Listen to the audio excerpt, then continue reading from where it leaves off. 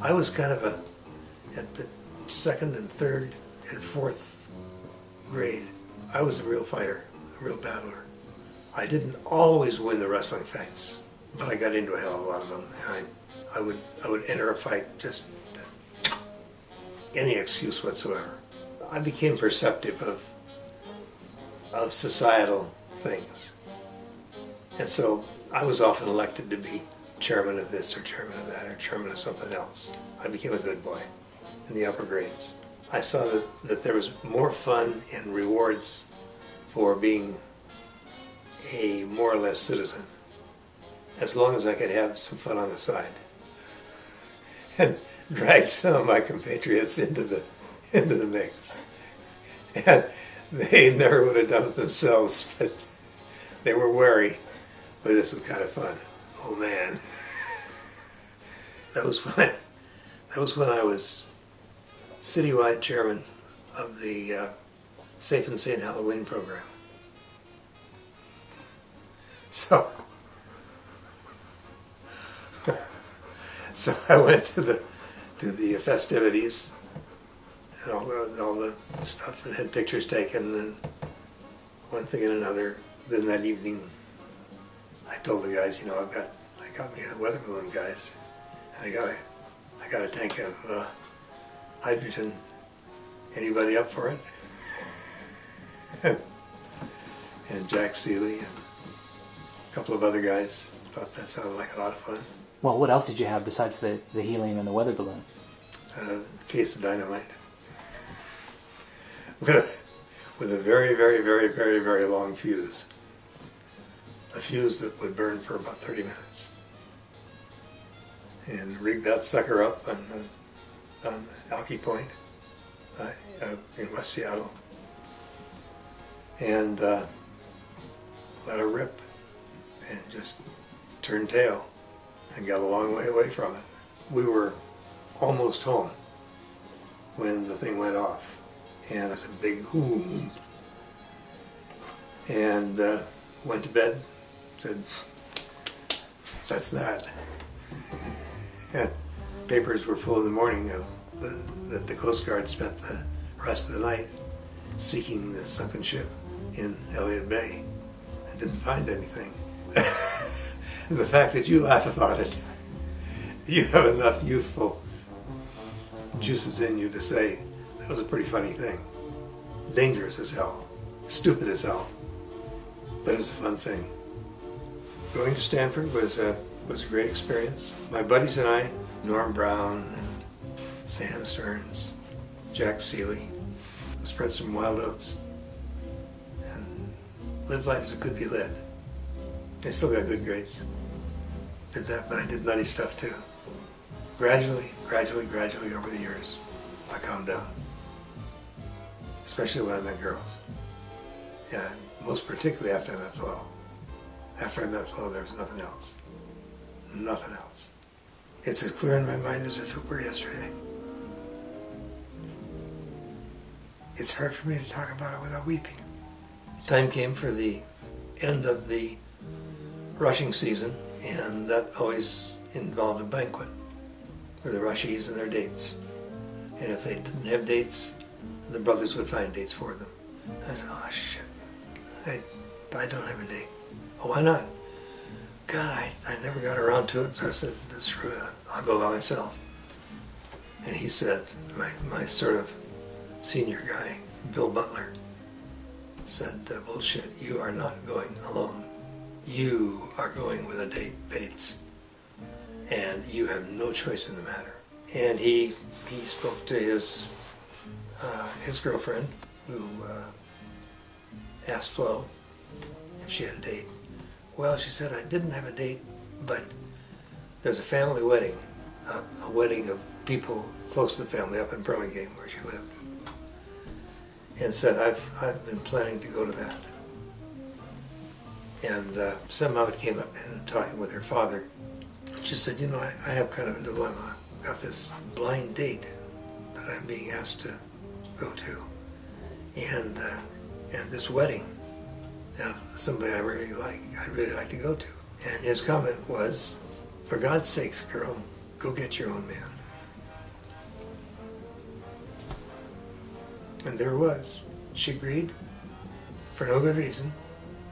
She agreed, and there she was standing in the dormitory when I came to pick her up, and holy shit.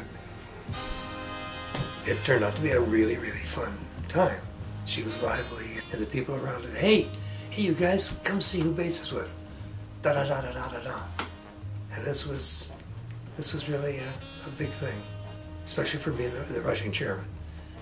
And the, the chairman got a dandy lady, and da da da. That was that was all wonderful.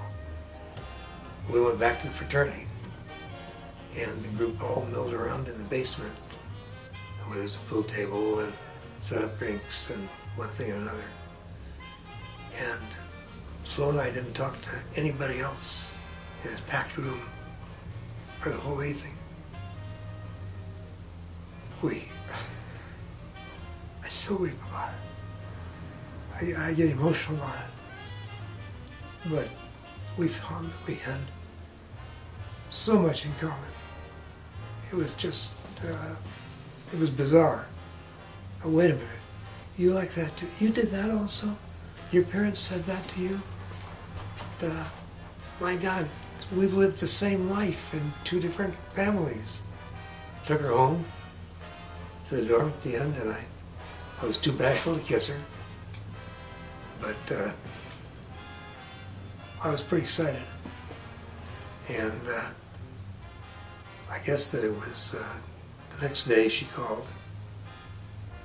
And I, I think she called actually to make the date uh, for a, a basketball game up in the city.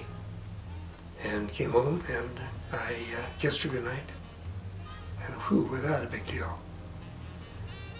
And as I left, I remember so clearly saying, my God, I could live the rest of my life with that lady.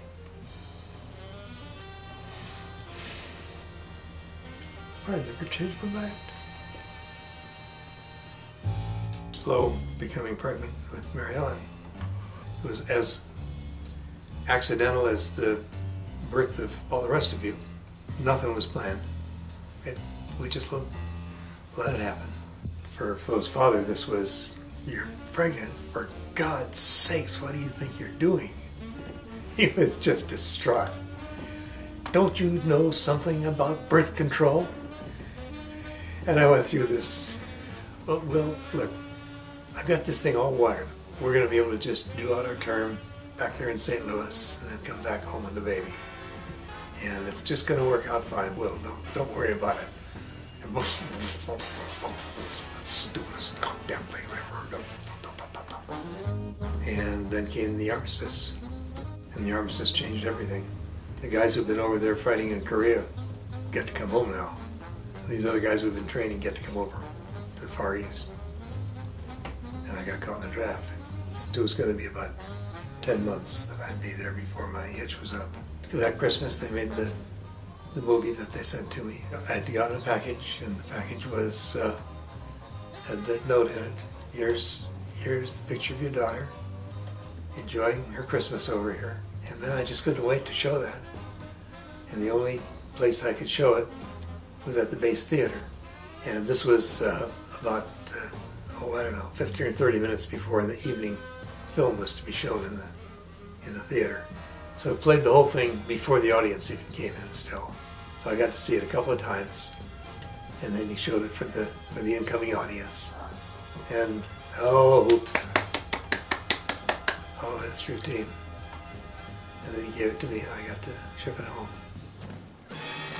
My time was up. I got to go home. And uh, I was just eager as could be to see Mary Ellen. And for the next few weeks, it was a matter of her trying to give me the opportunity to be a daddy, but finding that I was pretty clumsy at that point. But little bit by little bit, I learned. Mom made the household. She absolutely made her life to be that which would make your life the best. And uh, there was nothing in that that I didn't like. She realized that she had a another baby, a big baby, in the house and, and coddled me a, a bit. I just followed her as, as intently as I could as far as raising the kids. Here and there I could give them an adventure or fun thing that wouldn't have occurred to her. And that was my, my contribution besides just being there. I was the bringing up children helper. I sought to encourage you on things that you thought were fun, even though they might have been a little bit bizarre. And you tended to to gain from even the crazy things that you did. And I mean that, that's what makes a really, really full life. Is to have not just the monomaniacal view, the uh, inverted telescope view. You uh, you look at things that are fun and that are interesting that you can do, maybe do better than others, and then you look for the things on the side that, that work into that. None of you are one-uppers. And the one-upper is the kind of a person that I have the most trouble with in the world. You're not one-uppers. You eschew one-uppers. You see them, you see them for what they are. You're never taken in. And it isn't because I told you that way, or or the or the mom taught you that way. Uh, you are smart enough to see it and to figure it out and understand it and be praised for understanding it. That's my view. And it just breaks me up to even think of it. I'm so proud of you. It is indeed, Craig. It is indeed, and and I uh, I have no regrets, and am feeling am feeling fine, and it's my choice to uh, come into the hospice rather than to undertake some other things that might conceivably have had some life extending capabilities. I'm not eating anymore or drinking anymore, and that obviously has its uh, its terminal end before very long but uh, but I'm being kept extremely comfortable during it. You know, I'm I'm feeling very good, Greg, and especially good having had a chance to talk to you. It's you've been fabulous friends uh, throughout all of our lives. And we're we're I feel that we're we're all the better for it. okay. Thanks so much for calling, Craig. Bye bye.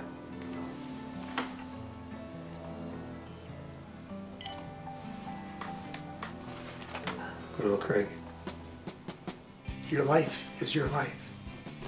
Nothing against that hospital. I think when somebody is as old as I am and they feel that their job is to say, God damn it, we got to get him to 90. And I'm 80. Now wait a minute, guys. That's that's not that's not humane medicine. And so so uh, I uh, I eschew that. I said that that doesn't, does not make sense. I, I, I invite any opinions and I would not would not uh, anger at any any opinions, the contrary opinions. But if I think of I think of myself and I think of all of you and I think of of having this this pleasant experience. And this is a pleasant experience with you with you people like I I like and love. I'm not going to have any happier experiences than that. You know, I'm, I'm in, a, in a reasonably good shape right now.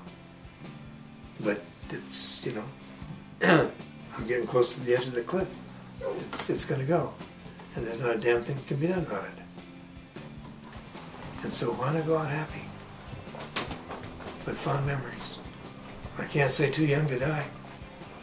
Not when I'm as old as I am. older, older than dirt. Hey, even dirt has a life. and a final life.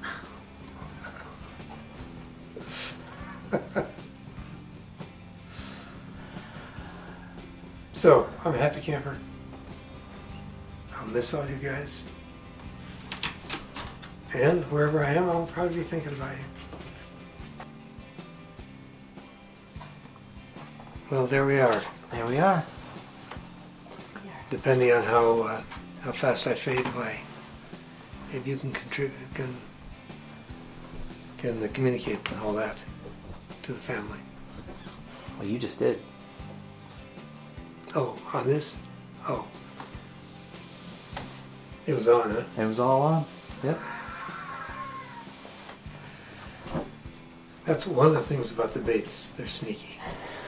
You've noticed that at times, haven't you?